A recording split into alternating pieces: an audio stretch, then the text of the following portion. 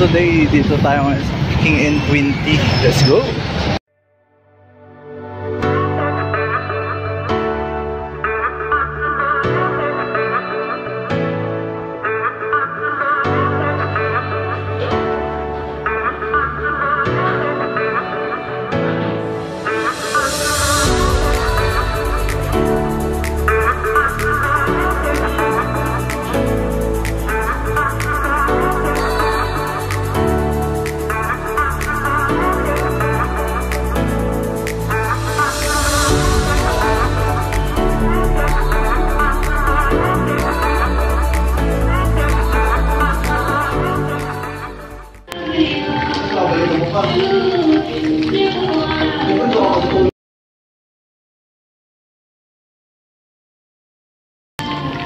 Two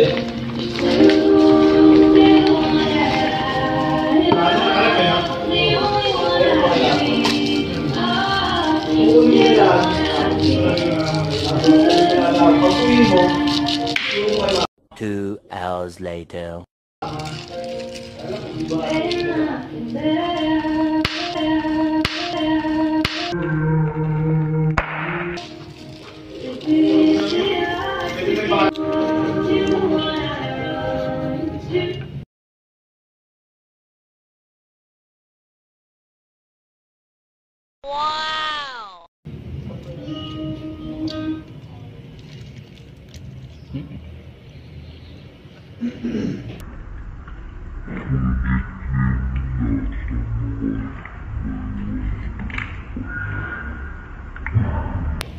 Legit din nila sa mga kahit buy one get one na.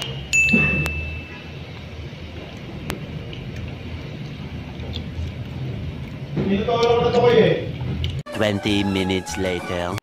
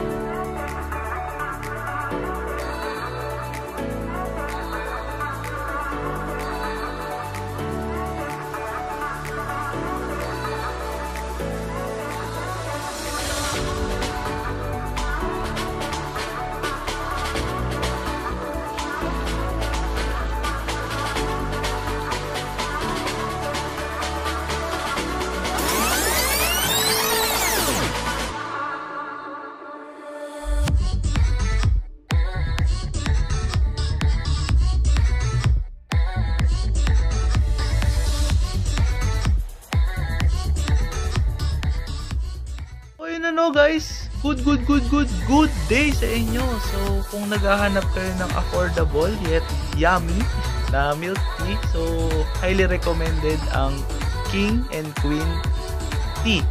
So ayun, ah, legit naman yung lasa niya compare sa other brands. ah, humahabol. Habol naman as in pareho lang. Tapos ang pinakamahal nila is 160 which is I think yung mga bestseller nila or premiums. So ayun, you can never go wrong naman with it.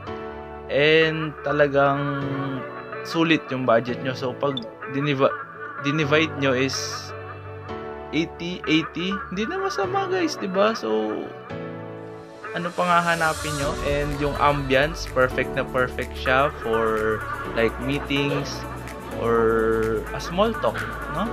So, ayun, wag lang kayo masyadong maingay katulad nung katabi namin din. Hindi na talaga kayo magkakarinigan kasi sobrang ano, maliit lang yung space eh. So, ayun, um, must try, must try. So, uh, salamat pala sa panonood nyo guys and subscribe, subscribe, subscribe for more videos like this and until next time! Woo!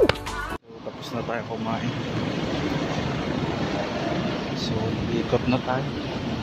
Alam nyo na siguro kung nasaan tayo. Cartimar.